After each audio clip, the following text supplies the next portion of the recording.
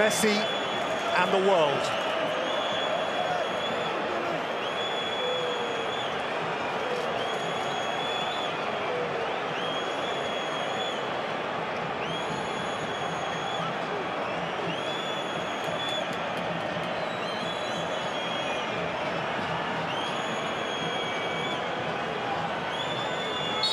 A breath, a heartbeat,